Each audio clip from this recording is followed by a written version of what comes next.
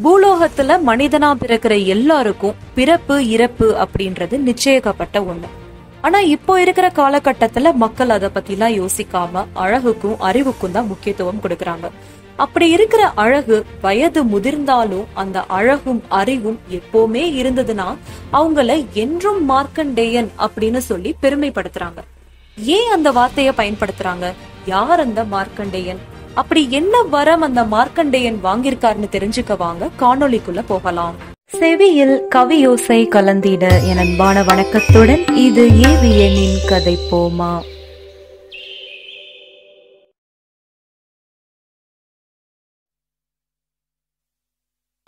முன்னொரு காலத்துல மிருகண்டர்னு ஒரு மகரிஷி வாழ்ந்துட்டு வந்தாரு.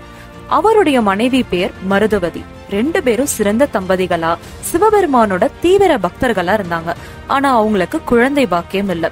அதனால சிவபெருமான புகழ்ந்து பாடியும் அவருடைய கதைகளை பற்றி பரப்பியும் வாழ்ந்துட்டு வந்தாங்க. இவங்களோட பக்திய பார்த்த சிவபெருமான் அவங்க முன்னாடி தோன்றி காட்சி கொடுக்கறாரு.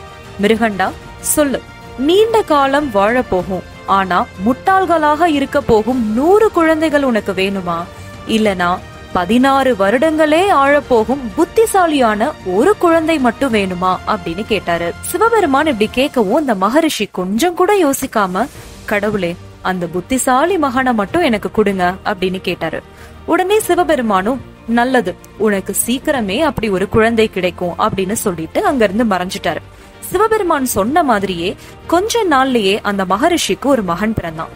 அந்த மகன் தான் மார்க்கண்டேயன். அந்த சிறுவன் புத்திசாலியாவும் அழகாவும் வளர்ந்தான். வேத சாஸ்திரங்களை ரொம்ப சுலபமா கத்துக்கிட்டான். எல்லாருக்கும் அவனை ரொம்ப பிடிச்சிருந்தது. இப்படியே பல வருடங்கள் போயிருச்சு. இப்போ மார்க்கண்டேயனுக்கு பதினாறு வயது நெருங்க போகுது. மிருகண்டன் மகரிஷியும் அவருடைய மனைவியும் ரொம்ப கவலையோட இருந்தாங்க. ஒரு நாள் மார்க்கண்டேயன் தன்னுடைய தந்தைய பார்த்து கேக்குறான். தந்தையே ஏன் சோகமா இருக்கீங்க? அப்படின்னு கேக்குறான். உடனே அவர் சொல்றாரு மகனே நான் உன்கிட்ட என்ன சொல்றது? உன்னை எங்களுக்கு சிவபெருமான் அழிக்கிறப்போ நீ பதினாறு வருடங்கள் மட்டும்தான் உயிரோட இருப்பேன்னு சொல்லிட்டாரு. நீ இப்போ அந்த வயதை அடைய போற நேரம் வந்துருச்சு.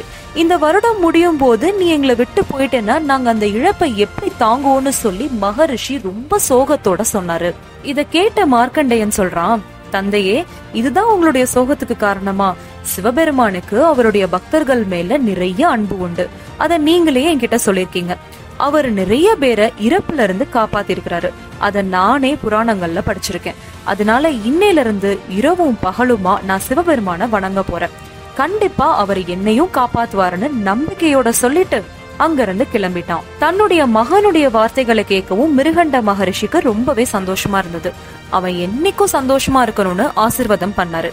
கடற்கரையில சிவலிங்கம் ஒண்ண மார்க்கண்டேயன் கட்டினான். காலை மாலை இரவுன்னு எந்நேரமும் சிவபெருமான வழிபட தொடங்கினான். பஜனைகள் பாடி நடனங்கள் கூட ஆடி வழிபட ஆரம்பிச்சான். மார்க்கண்டேயனுடைய அதீத பக்தியை பார்த்த சிவபெருமான் அவன் முன்னாடி காட்சி கொடுக்கிறாரு. உனக்கு என்ன வரம் வேணும்னு கேக்குறாரு.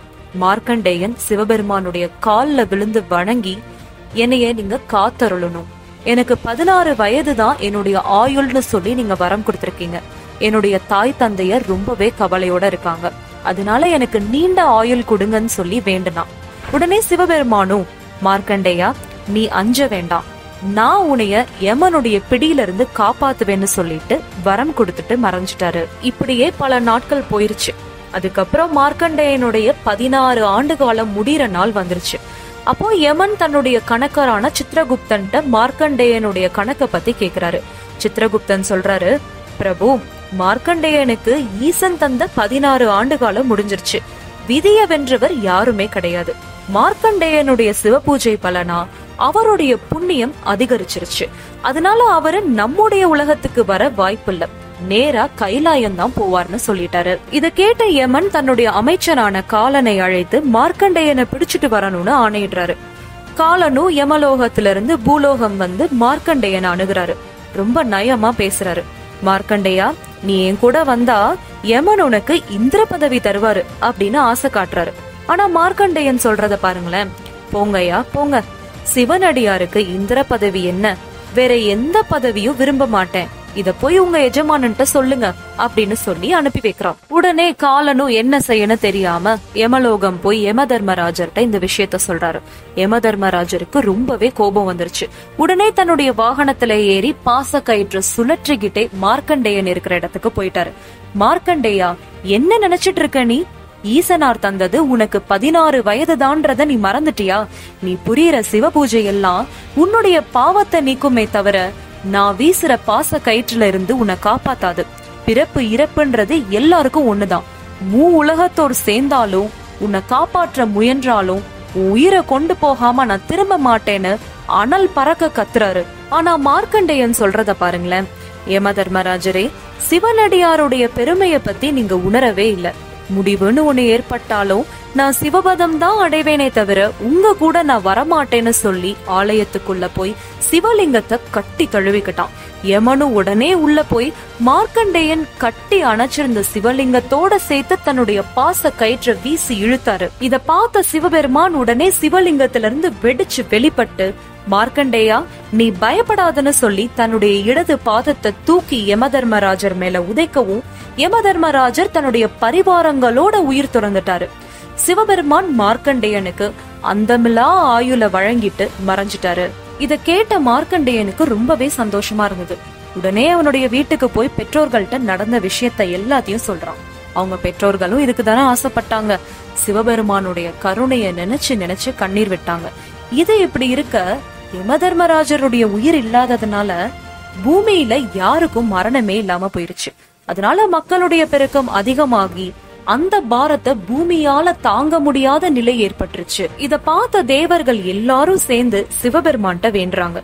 சிவபெருமானும் அதை புரிஞ்சுக்கிட்டு யமனுக்கு உயிர் கொடுத்து அவருடைய தொழில ஆரம்பிக்கலாம் அப்படின்னு சொல்லி அருள் கொடுக்கிறாரு. இந்த நிகழ்ச்சி திருப்பரங்குன்றம் திருப்புகழ்ல கருக்கு மஞ்சன விழியினை அயல் கொடுன்ற பாடல்ல சினத்தொடும் சமனுதை பட நிறுவியன்ற அடிகள்ல அருணகிரிநாதர் குறிப்பிட்டிருக்கிறாரு. பதினாறு வருடங்கள் மட்டும்தான் வாழ முடியுன்ற வரத்தோட பிறந்தவன் தான் மார்க்கண்டேயன்.